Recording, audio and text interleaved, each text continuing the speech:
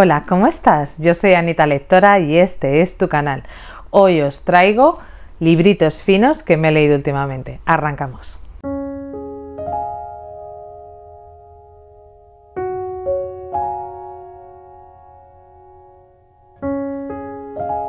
Hola lectores, ¿cómo estáis? Pues nada, novelitas cortas siempre vienen bien porque uno a veces no tiene el tiempo pero quiere ahí ser productivo y hay mm, Little Fairy pero el resto del año también hay que leer novelitas cortas y aquí tenemos cuatro. Pues los cuatro libros que os traigo hoy tienen todos ellos menos de 200 páginas. A mí me gusta mucho leer este tipo de libros cuando estoy entre libros, por ejemplo, estoy leyendo libros eh, que, estoy leyendo lecturas conjuntas o lo que sea. Muchas veces cuando viajo me gusta meterme eh, un par de libros o tres que sean más libros finitos, pues porque, por ejemplo, a lo mejor cuando voy en el avión, sobre todo si no es un vuelo demasiado largo, cuando estoy entre un tren y otro, un autobús y otro, etcétera, pues tampoco quiero ir ahí con un libraco cargando, pero quiero tener algo de lectura y quiero pues poder leer unas páginas, otras páginas y otras páginas. Hoy os traigo además, me he dado cuenta, tres editoriales, bueno, eh, sí, tres editoriales, son cuatro libros, pero son tres editoriales, eh, de unos libros que me han gustado, o sea, de unas editoriales que me gustan mucho, que son eh, libros del asteroide, sexto piso y nórdica. Son tres editoriales que, la verdad es que me gusta mucho leer, que creo que tienen propuestas muy interesantes y que, os voy a ir trayendo.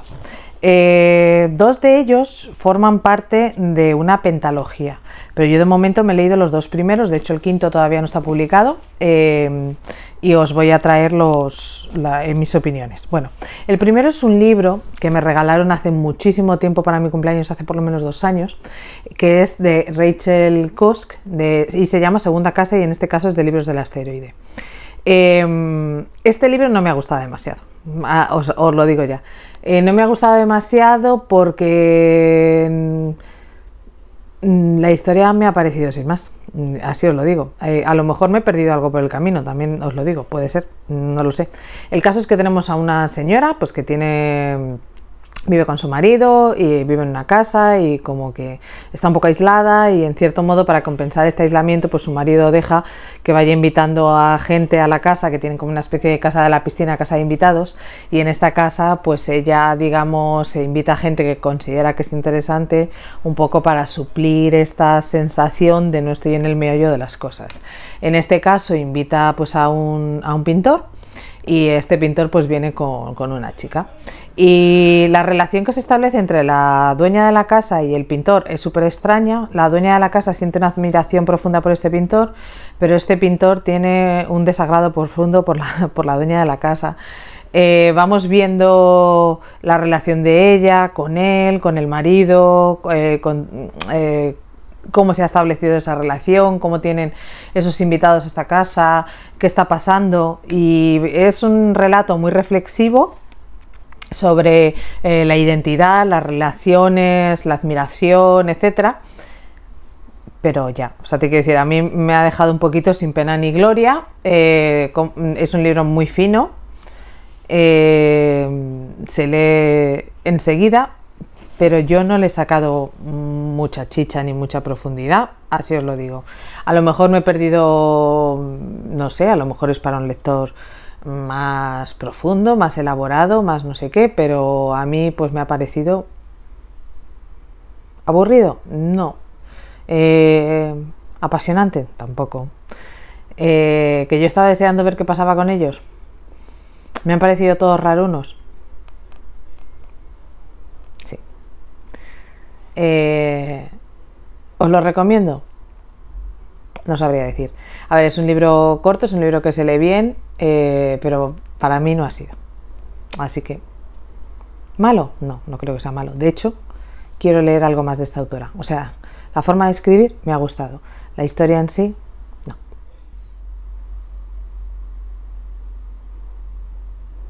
Pues arrancamos un poquito con las tintas cargadas. ¿eh?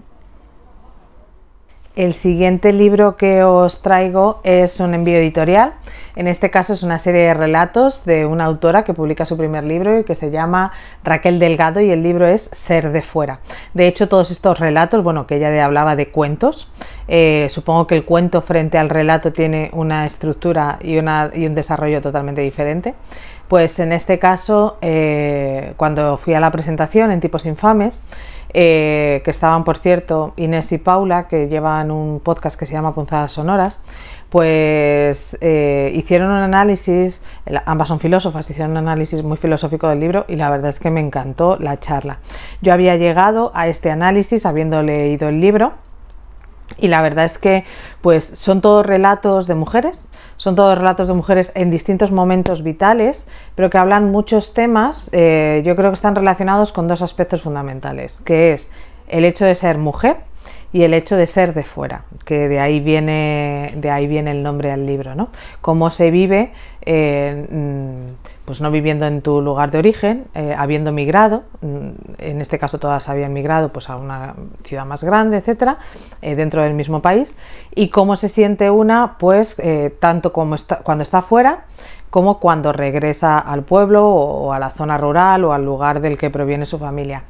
Eh, trata pues desde lo que es la maternidad hasta lo que es las eh, relaciones con la madre, las relaciones con, las amigas, eh, la relación con, con, el trabajo, con el volver a casa, con las cenas de Navidad, con el tener que eh, tienes muchísimas ganas de volver, pero a la par tienes muchísimas ganas de irte todo el rato, porque no, estás, eh, no eres tú 100%, digamos, en ninguno de los espacios en los que estás. Te sientes un poco mm, fuera de muchas de las interrelaciones que se han ido creando mientras tú no estás y, creo que hace una serie de relatos muy interesantes.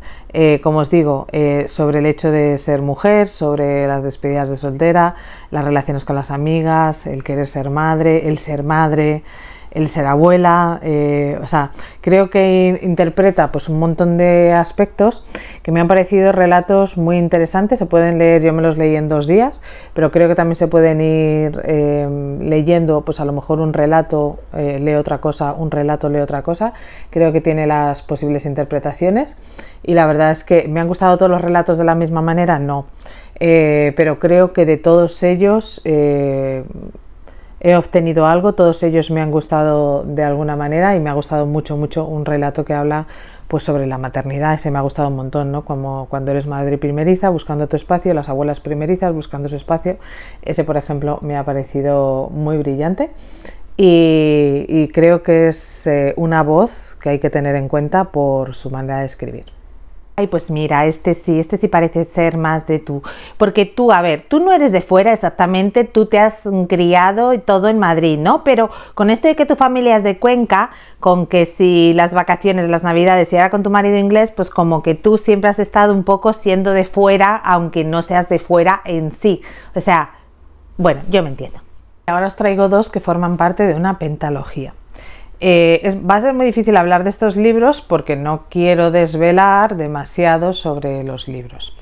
Eh, están publicados por Nórdica. En su momento, el libro que se había publicado fue este, que es Ozuke, la librería de Mitsuko. Eh, este es el segundo. Y este, Azami, el club de Mitsuko, es el primero. Eh, cada uno de los libros se llama la pentalogía del cardo y van representando pues diferentes flores, ¿no? Pero bueno, todos tienen en la parte de atrás el simbolito del cardo y te van poniendo si es el 1, el 2, el 3 o el que sea. Y los personajes, digamos, van entrelazándose. En este caso, eh, Azami, el club de Mitsuko, me ha parecido una propuesta muy interesante, sobre todo para entender lo que es la sexualidad y el matrimonio dentro de Japón, eh, que probablemente nos resulta un poco mm, extraña a los ojos occidentales. Vemos, por ejemplo, cómo eh, pues, las relaciones, digamos, eh, sexuales fuera del matrimonio se consienten siempre y cuando estas relaciones sean con profesionales, es decir, con prostitutas profesionales.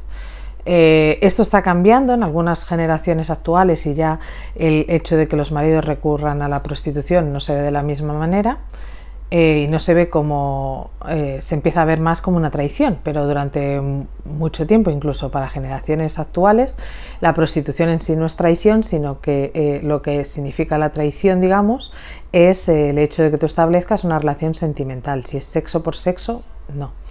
Eh, hay una serie de clubs también peculiares, que son clubs donde no existe, bueno, existe solo eh, sexo oral. Y, luego, pues bueno, la relación de este personaje con otros personajes que conoce del instituto, con una chica del instituto que descubre, cosa que hace mucho tiempo que no veía y de repente ve, la relación dentro del matrimonio, etcétera, etcétera. Como os digo, me ha parecido una visión muy particular de, todo este aspecto que la verdad yo no tenía ni idea. Eh, acaba esta historia y llegas a esta otra historia y entonces encuentras a otro personaje. Todos los personajes se van, digamos que vamos viendo la, eh, historia de cada uno de los personajes eh, mezclada. ¿no? el protagonista de la anterior era un hombre, el protagonista de esta va a ser una mujer, el de la siguiente es un hombre, supongo que el de la siguiente será una mujer y así vamos, ¿no? Y en este caso, pues tenemos, no tenemos un club, lo que tenemos es una librería. Y en esta librería, pues vamos, es una librería muy especializada en textos filosóficos y vamos viendo la relación que establece eh, una mujer con eh, que tiene un, hijo y este hijo pues establece una relación con una niña eh, a través del colegio, etcétera, y así pues bueno, se establece una relación entre las madres. Vamos a ir viendo cómo viven, cómo se establecen los lazos familiares también, cómo es necesario extras, obtener extras económicos porque el aspecto cultural no da para demasiado.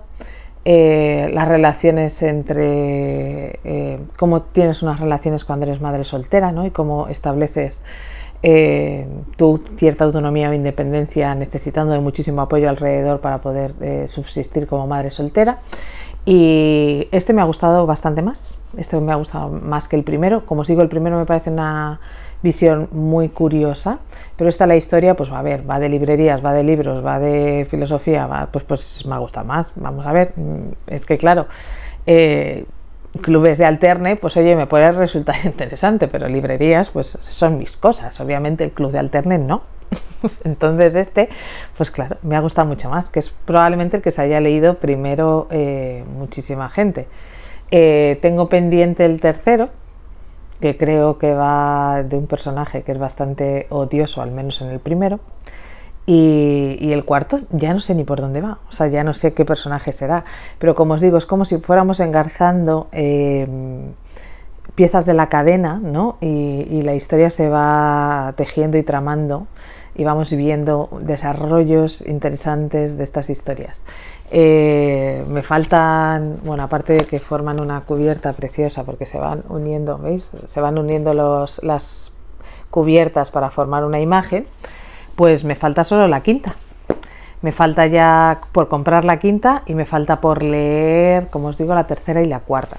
Pero creo que es una pentalogía muy interesante y, por ejemplo, esta os vale perfecta para lo que es el marzo asiático. O sea, creo que si queréis ir echándole el ojo a algo para leer de cara ya al año que viene, pues está marzo asiático que ni pinta. Y todos finitos, mm, eh, tiene ciento, creo que el tercero es más, más, más gordito, pero tiene el segundo 127 y el primero, no, el primero 127 y el segundo 133. O sea, mm, forman un libro entre los dos. Se lee en nada. Ay madre, qué cosas más raras nos cuenta la niña con la pentalogía esta. Yo los cardos, fíjate tú, siempre pensaba, ¿no? Lo de, lo de ser un cardo para mí ha sido siempre ser feo, pero esto me está cambiando un poco la visión porque, a ver, eh, eh, qué cardos más bonitos, no sé, no sé. ¿eh? Mm, yo. Bueno, pues eso, que palmarzo asiático. Y hoy un vídeo cortito para novelas cortitas. Espero que os haya gustado, leo vuestras recomendaciones y os mando desde aquí un besito muy grande. Adiós. Ay, pues mira, tres editoriales que le gustan mucho a la niña, cuatro libritos cortitos, un vídeo cortito, pues todo bien, todo bien, no tengo nada que decir, solo que como siguen sus 13, que le follow, que le like, que subscribe y que nada, que besitos, besitos, chao, chao lectores. ¡Mua!